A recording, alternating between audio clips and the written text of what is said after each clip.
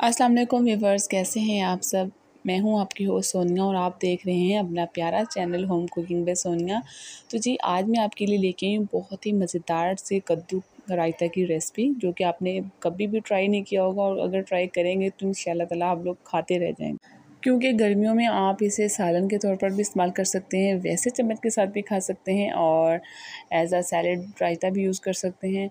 माशाल्लाह से बहुत मज़ेदार बनता है। तो चलते हैं रेसिपी की तरफ़। मैं आज आपको बताती हूँ कि ये मज़ेदार सा कद्दू का रायता बनेगा कैसे। रहीम मैंने लिए हैं तकरीबन दो नॉर्मल साइज़ कद्दू। और इसको आपने मोटा मोटा कद्दूकश कर लेना है। आपने ज़्यादा भारी कद्दूकश नहीं करना और एक कप पानी में इनको पका लेना है, ठीक है? ज़्यादा पानी आपने नहीं डालना, कि बाद में आपको निकाल के फेंकना पड़े और इसकी गजाइत भी कम हो जाए। बस एक कप पानी में आपने इसको इस तरह पका के निकाल के रख लेना है ताकि ये ठंडा हो जाए। और अब लूँगी मैं इसमें दही जो कि मेरे पास दो कप है और इसमें डालूँगी चीनी के एक चम्मच ताकि दही का जायका स्टेबल रहे और चीनी डालने से दही मीठा नहीं होगा। अब इसमें डाल रही हूँ नमक हसबी ज़रूरत। इनको अच्छे से मिक्स कर लेंगे। चैनल को सब्सक्राइब ज़रूर कीजिएगा और वीडियो को लाइक शेयर कमेंट भी ज़रूर कीजिएगा। अच्छा जिसको मैं अच्छे से मिक्स कर रही हूँ ताकि ये सारी चीज़ें आपस में अच्छे से मिक्स हो जाएँ। तो ये देखें मैंने जी दो अदद बारीक टमाटर काट लिए हैं, एक अदद बारीक प्याज, पाँच से छः अदद बारीक सब्ज़ मिर्चें और एक नॉर्मल साइज़ आलू।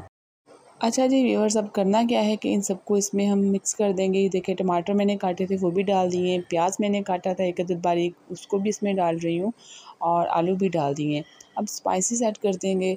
देखें, ये सुरख मिर्च है और इसको मैंने हाफ़ टी स्पून ऐड की है। आप अपने जायके के मुताबिक थोड़ा इसे ज़्यादा भी कर सकते हैं। ये काली मिर्च का पाउडर है जो कि एक टेबल स्पून है। और जी, अब इसमें मैं ऐड कर रही हूँ। चाट मसाला तो जी, ये देखें, दूसरी तरफ़ माशाल्लाह से कद्दू ठंडे हो चुके हैं और अब इनको हम रायते में डाल देंगे। बस ये छोटी सी आसान सी मज़ेदार सी रेसिपी है। इसको बहुत ही कम टाइम में हम बहुत ही मज़ेदार सी रेसिपी बना के अपने खाने का मज़ा दुबाला कर सकते हैं। उम्मीद करती हूँ आपको ये मेरी रेसिपी अच्छी लगी होगी। माशाल्लाह से बहुत ही मज़ेदार है देखने में और खाने में तो बहुत ही अच्छी होगी।